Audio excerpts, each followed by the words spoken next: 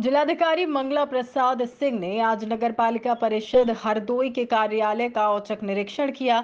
नगर पालिका में घुसने से पूर्व परिसर में बारिश के जल भराव को लेकर उन्होंने कड़ी नाराज़गी जताई। कार्यालय में सबसे पहले उन्होंने लेखा कार्यालय का निरीक्षण किया।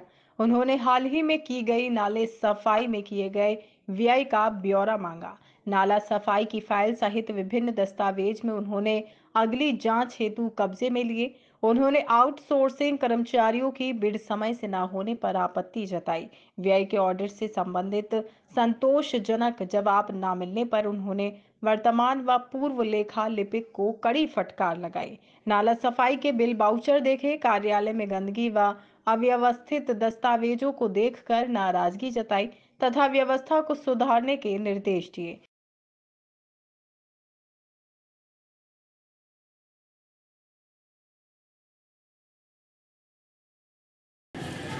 नगर पालिका हरदोई कार्यालय का इंस्पेक्शन किया और सारे विभागों को देखा मैंने।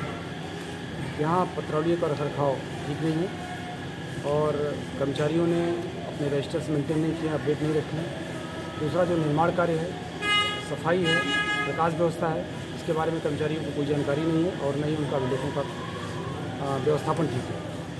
साथ ही साथ, जो सफ़ाई कर्मचारी तैनात किए गए हैं वार्ड वार उनकी तैनाती, इन लोगों ने आदेश नहीं किया है कोई। दूसरे जो निर्माण कार्य कराए जा रहे हैं, उनकी कोई सूची नहीं है इनके पास। तीसरा, कुछ रजिस्टर्स में मुझे ऐसे मिले हैं, अब उनका हम के परीक्षण करते हैं।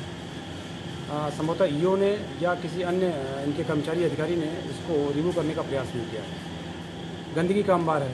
नीचे नगर पालिका कार्यालय के बाहर ही वाटर लॉगिंग है। मैं उम्मीद करता हूँ कि नगर को इन सब चीज़ों पर ध्यान देना चाहिए।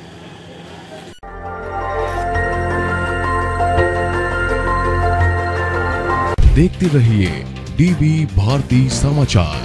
नज़र हर खबर पर।